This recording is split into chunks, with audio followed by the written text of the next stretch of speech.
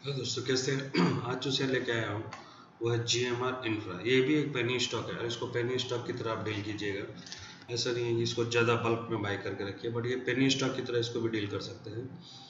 इनका फाइनेंशियल थोड़ा ख़राब है, और डेप्ट हैवी है बट इनका बिज़नेस पोर्टफोलियो अच्छा है। ये energy airport transportation urban infrastructure ये सारी चीज़ में बिज़नेस करते हैं। तो इसके लिए इसमें अगर बाइंग पोजीशन बनाते हैं लॉन्ग टर्म के लिए एटलीस्ट थ्री इयर्स के लिए। तो आज जो इसका भाव है, यहाँ से आपको डबल का भाव देखने को मिल सकता है। इसमें जो राव जी हैं, राव जी हैं, वो बहुत मेहनत कर रहे हैं इस बिज़नेस को, जो इनके एमडी हैं और चेयरमैन हैं। तो वो बहुत ये है G M R infrastructure limited और आज की जो क्लोजिंग है, वो सोलह रुपये पे है। तो आप इनके जो चेयरमैन मैनेजिंग डायरेक्टर देखेंगे आप इनके, एक मिस्टर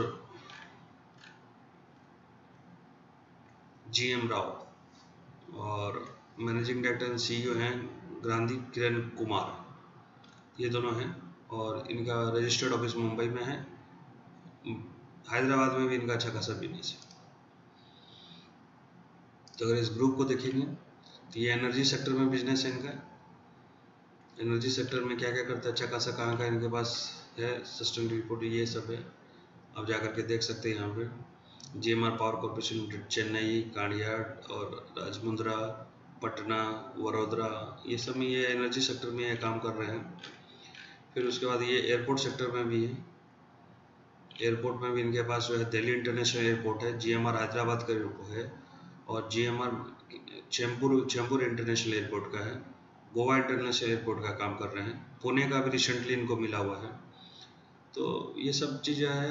एयरपोर्ट में काम कर रहे हैं। दूसरा ट्रांसपोर्टेशन में भी देखेंगे तो ट्रांसपोर्टेशन में भी इनका बिज़नेस है। और ये देखेंगे तो तमराम, तुनी अम्बाला अंदूर, हैदराबाद, चेन्नई। मट इनके पास कुछ एक्सप्रेस वे इन्होंने किया हुआ हॉस्पिटल प्रोजेक्ट किया हुआ है। तो अच्छी खासी इनके पास अगर बिज़नेस प्रोफ़ाइल का है तो बहुत अच्छा बिज़नेस प्रोफ़ाइल है इनके पास। यहाँ पे दिख रहा है आप अर्बन इंफ्रास्ट्रक्चर यहाँ डेवलपमेंट है। ये ट्रांसपोर्टेशन का आप देख ही रहे हैं।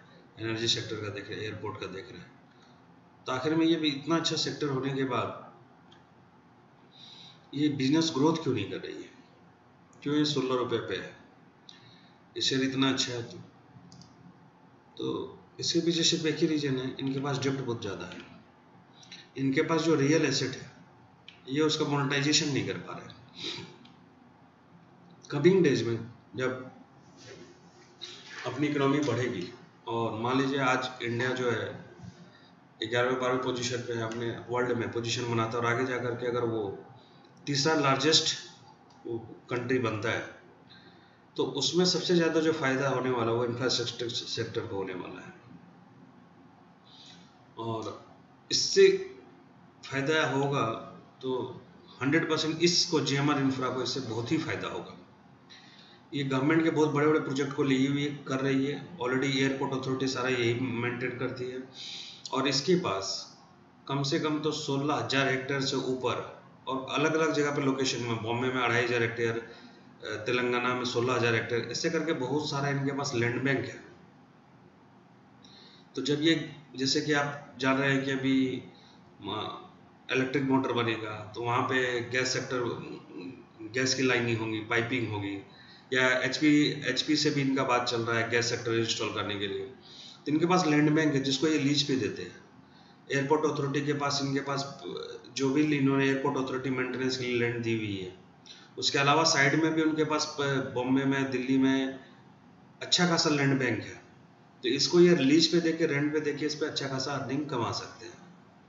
तो लैंड बैंक की कमी नहीं है। और ये अभी जो इनके पास जब बढ़ गया था तो उसको रिड्यूस भी कर रहे हैं।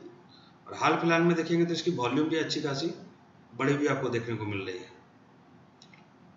जो 20 इक्कीस करोड़ होता था, वही अब 19 20 करोड़ 21 करोड़ के आसपास इसकी वॉल्यूम हो रही है।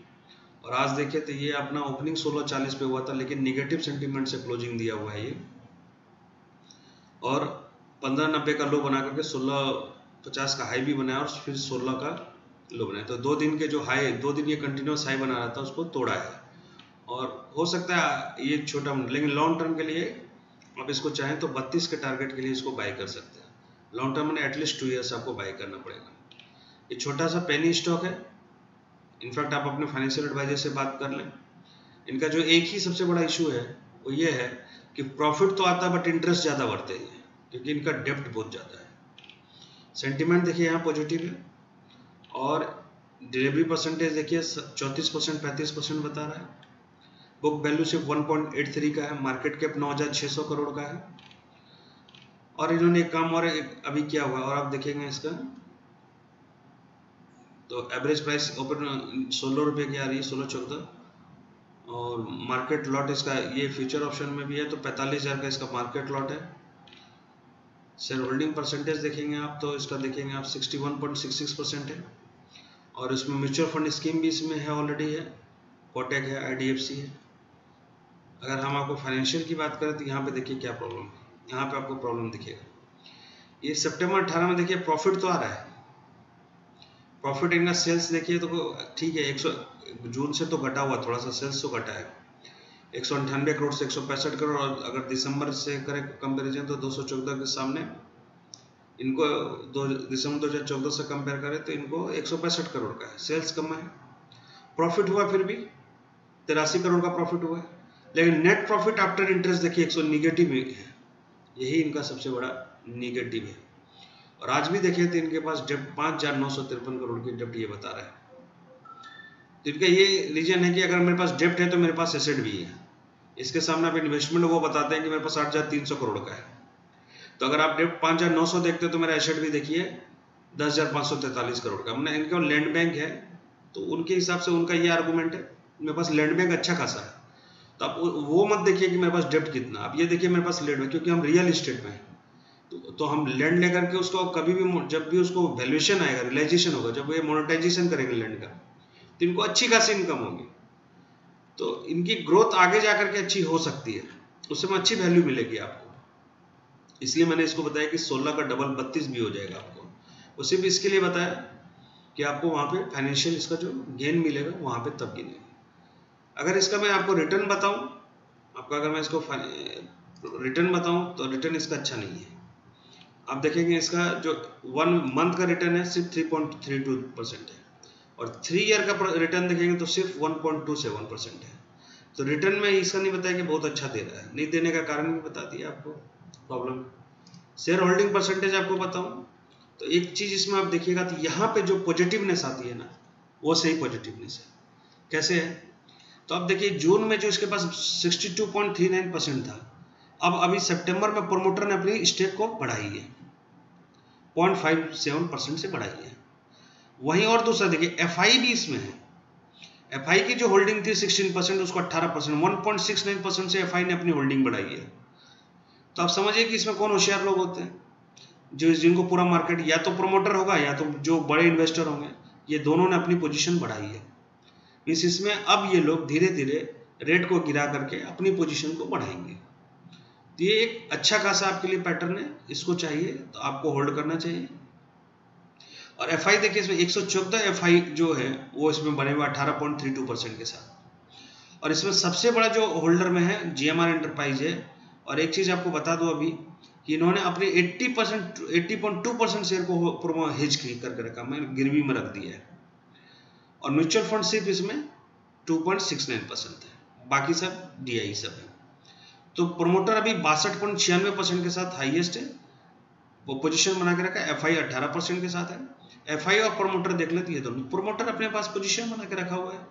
अगर प्रोमोटर स्टेक बढ़ा रहा है तो इसको अपना फ्यूचर मानो। और सुनिए एक्चुअल में क्या हुआ है कि इसने अपने जो बाइंग किया तो लैंड बैंक को बढ़ाया। लैंड बैंक को बढ़ाने के चक्कर में इनका जो भी प्रॉब्लम आया, वहाँ पे इनका फंड फंसा। और वहाँ से इनको लॉसेस मतलब आप समझे डेप्ट की कॉस्ट बढ़ती जा रही है इनकी। अगर आप, चलिए प्रॉफिट देख लेते हैं एक बार।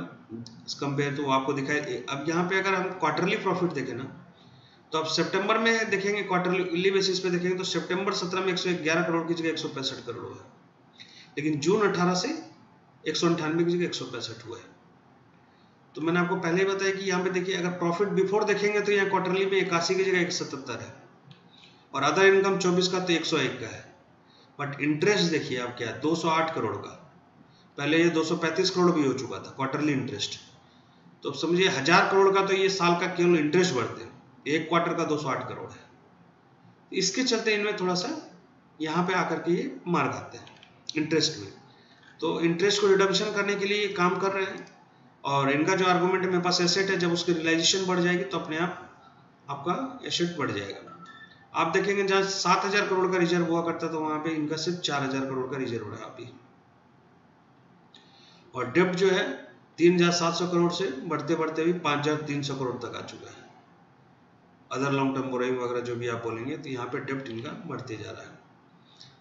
अदर करंट लाइबिलिटी भी इनकी देखेंगे तो यहाँ पे भी अदर बारह ग्यारह सौ करोड़, बारह सौ करोड़, जो कि छः सौ, आठ सौ, नौ सौ यहाँ पे कम भी किया था, फिर अभी 1100 करोड़ रुपये आ गया है। तो ये डेप्ट रिडक्शन में काम कर रहे हैं और जैसे एक और चीज़ है यहाँ पे कोई भी कंटिनेंट लाइबिलिटी इनकी बढ़ी हुई है, सैंतीस हज़ार चार सौ बयालीस करोड़ है, जो आपके नॉलेज में रहना ज़रूरी है। अगर ये इम्पैक्ट करेगा तो बिज़नेस को बहुत बड़ा बड़ा इम्पैक्ट करता है। इसलिए मैं बोला एक पेनी स्टॉक है इसको इसको पेनी स्टॉक की तरह आप लेकर के इसको बाइंग कर सकते हैं, रख सकते हैं। कैश फ्लो भी अच्छा नहीं दिखाता है। कैश फ्लो भी आज के डेट में इनका जो है, वो पॉजिटिव नहीं दिखा रहा है। पहले इनके पास जहाँ तीन सौ उन्नीस करोड़ हुआ करता था, तीन सौ अंठानवे करोड़ हुआ करता था, वहाँ बाईस करोड़ सी पे। चलिए एटलीस्ट निगेटिव होने के बावजूद ये बाईस करोड़ का कैश कैश इक्विपमेंट तो मेंटेन कर रही है? वो एक पॉजिटिव चीज़ है, जो अब धीरे धीरे आकर के इनका सुधर रहा है। तो सिर्फ़ इसके चलते, सिर्फ़ इंटरेस्ट के चलते और ओवर इंटरेस्ट के चलते ये बिज़नेस मार खा रही है। अगर ये सुधरेगा तो अपने आप इनका बिज़नेस भी सुधरने लगेगा। डेप्ट इक्विटी रेशियो में इनका चेंज हुआ है, क्योंकि इन्होंने इक्विटी रेज किया है। 750 करोड़ का इक्विटी होता था, अब इनके पास तेरह सौ पचास करोड़ का ऑथराइज कैपिटल है। 436 का इशूड था, अब 603 का है। इन्होंने, जो पेडअप कैपिटल है, इसको रेज किया है। तो डेप्ट इक्विटी रेशियो आपको वहाँ पे आपको कम दिखेगा डेप्ट कम दिखेगा। अगर इस, इसकी रेशियो की बात करें रिटर्न की बात करें तो सबसे अच्छी बात क्या आपको नज़र आ रही है? इत, इस बिज़नेस का रिटर्न क्या है?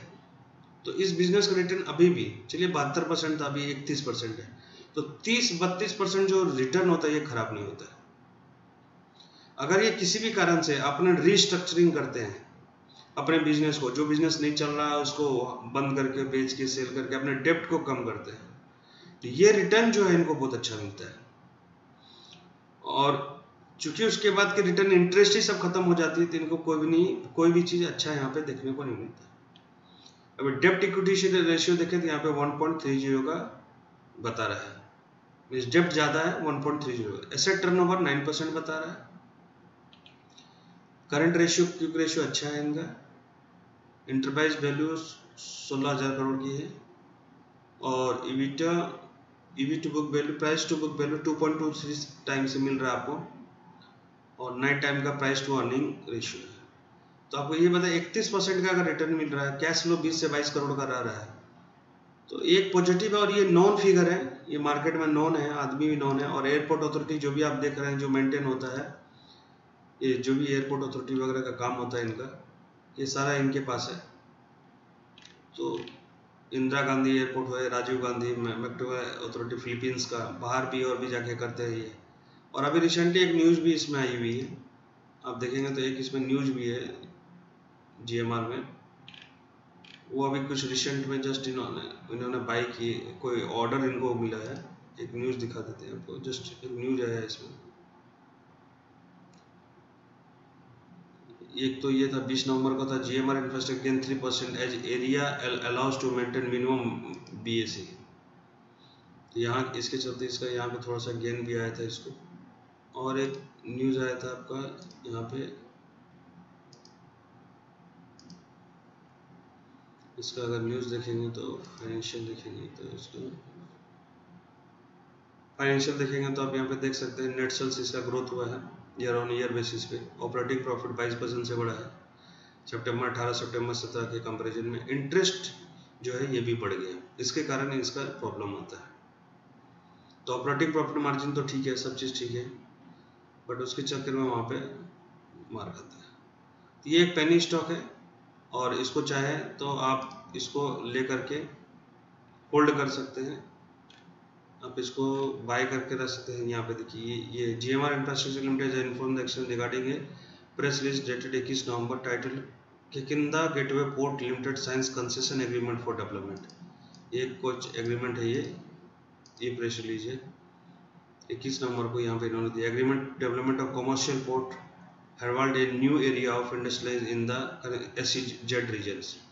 SEZ इनके SEZ में बीस हज़ार से इक्कीस हज़ार हेक्टेयर ज़मीन है। तो ये इनके पास अच्छी खासी लैंड बैंक आप समझ जाइए, और हर रीजन में इसके कारण ये लैंड बैंक जब भी इनका काम करेगा तो ये अच्छे खासे मोनेटाइजेशन वैल्यू पे मिलेगा। और ऑलरेडी ये चौबीस छब्बीस से नीचे आया हुआ है चार्ट पे भी देखेंगे आप तो अच्छा खासा इसका अभी, लेकिन अभी सारे इसने मूविंग एवरेज को तोड़ा हुआ है। सारे, कोई भी मूविंग एवरेज को मेंटेन नहीं कर रहा है, सारे मूविंग एवरेज को तोड़ के नीचे की ओर दिखा रहा है। तो अभी ये बाइंग अपॉर्चुनिटी आप धीरे धीरे पोजीशन बेसिस पे इसको धीरे धीरे करके आप बाइंग पोजीशन बना सकते हैं। इसको एक्वायर कीजिए एसआईपी करके भी कर सकते हैं आप। आप सौ सौ शेयर भी करेंगे, सोलह सौ रुपये हर मंथ लगेगा। तो ज़्यादा कोई इन्वेस्टमेंट नहीं है पेपर ट्रेडिंग कीजिए इस पर और अगर कोई भी इसमें बिग पोजीशन बनानी है तो फाइनेंशियल एडवाइजर से ज़रूर से ज़रूर आप बात कर लें। बट ये बहुत ही अच्छा पेनी स्टॉक मल्टीपेगर स्टॉक है। और आप जैसे ये देखिए टर्मिनल्स को पूरा मेंटेन करते हैं ये। ये सोवाजी है इनकी। सोवाजी नहीं एक्चुअल में as area loss to maintain the minimum this year around touch 52 week यहाँ पे क्या न्यूज़ है इसका जो share by सोएजीएम gain 3.3% Tuesday after area allowed company to maintain minimum base airport charges airport charges में इनको मिनिमम रेंट में कुछ बढ़ाई, बढ़त मिली है। तो ये सब होते रहेगा। एस जेड में इनके पास है। ये स्टॉक अच्छा खासा आपको यहाँ से रन करेगा, चलते रहेगा। तो एक ये पेनी स्टॉक की तरह आप इसको देख सकते हैं और पेनी स्टॉक की तरह इसको बाय भी कर सकते हैं और पोजीशन में होल्ड भी बना सकते हैं आप इसको। तो ये आप चाहें लेकिन कोई भी पोजीशन डायरेक्ट बनाने के अपने आप अपने फाइनेंशियल एडवाइजर से ज़रूर से ज़रूर बात करें। वीडियो देखने के लिए बहुत बहुत